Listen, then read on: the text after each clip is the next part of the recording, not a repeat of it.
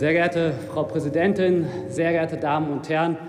Ich glaube, mit dem Gesetz heute leisten wir einen wichtigen Beitrag für die Akzeptanz der Europäischen Union.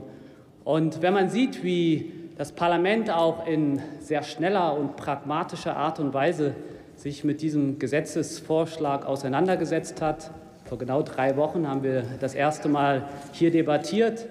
Am Montag fand die Anhörung statt. Auch die hat ein sehr differenziertes Bild abgegeben. Es gab Sachverständige, Frau Zimmermann, die ja durchaus einen Hintergrund hatten, der eher bei Ihnen war, die das als nicht verfassungsgemäß und nicht europarechtskonform bezeichnet haben. Und dann gab es aber auch Sachverständige, und das gehört zur kompletten Wahrheit dazu, wie Herrn Dr. Groth und Herrn Dohlinger, zwei ehrenwerte Persönlichkeiten, die gesagt haben, das Gesetz ist verfassungsgemäß und es ist europarechtskonform und deswegen bringen wir das auf den Weg und das ist auch gut so, dass wir das so tun. Und wir verfolgen ja damit drei Ziele. Das erste ist, wir wollen unser Sozialsystem vor Missbrauch schützen. Dort geht es darum, dass wir die Kommunen entlasten, die da keine Rechtssicherheit haben, auf die hohe Kosten gerade in Ballungsgebieten zukommen. Auch der Bund, mein Kollege Jens Spahn, freut sich darüber, dass er in Zukunft Ausgaben klarer planen kann. Zweitens, wir regeln damit, dass der Grundsatz fordern und fördern gilt.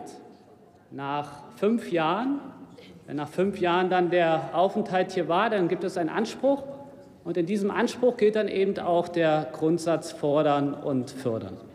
Und mit diesen wichtigen und ich sage mal auch klaren Regelungen, übrigens, Sie schreiben in Ihrem Entschließungsantrag ja auch, durch die Gerichtsurteile sind wir jetzt verpflichtet, Transparenz zu schaffen, Rechtssicherheit.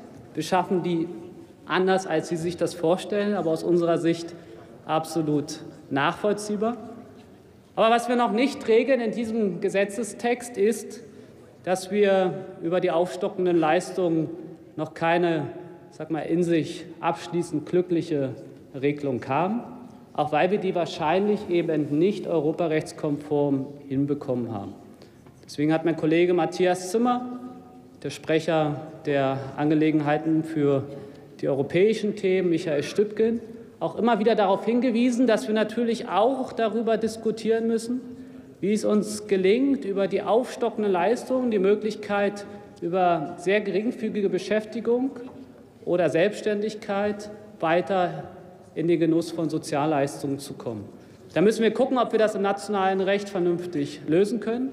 Das ist eine Herausforderung, die wir auch aus dieser Gesetzgebung mitnehmen müssen.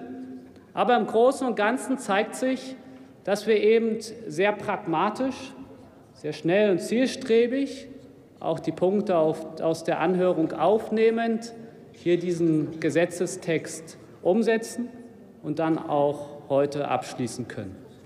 Und die Sachverständigen, beispielsweise der BDA, auch der Agentur für Arbeit, haben deutlich gemacht, dass die Freizügigkeit auch der positive Weg nach Deutschland damit nicht eingeschränkt wird. Und deswegen machen wir heute einen sehr ausgewogenen Vorschlag. Vielleicht entscheidet sich die Opposition ja doch mitzustimmen. Das wäre, glaube ich, ein guter Beitrag dafür, dass wir die Europäische Union ein Stück sozialer und gerechter machen. Vielen Dank. Vielen Dank, Dr. Petzold. Nächster Redner Dr. Wolfgang Strengmann-Kuhn für Bündnis 90 Die Grünen.